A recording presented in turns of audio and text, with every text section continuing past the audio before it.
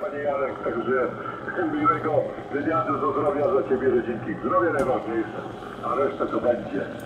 Także odbieram Cię. O, piękne słońce i się zrobiło normalne, wiesz, lato znowu. Chociaż rano było trochę chłodnawo, a w tej chwili ładna pogoda.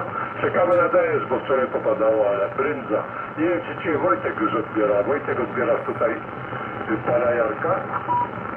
Odbieram, jak już nie odbieram, teraz to już jest, proszę Ciebie, do siódemki, aż mi tu bombarduje. Modulacja bardzo fajna, Jarko. Audio to jest takie super, naprawdę, jest bardzo fajnie.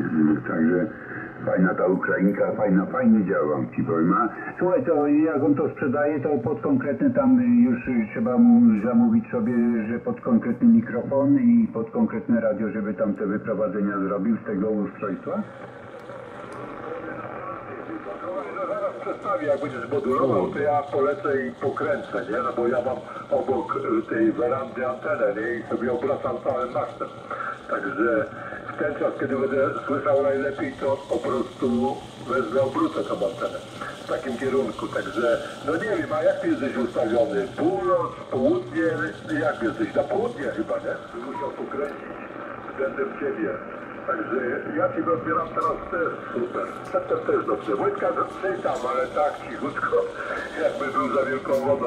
Proszę do ciebie Jarek. Więc się wyleciłem na północ, pół, północny zachód, ale to będzie chyba.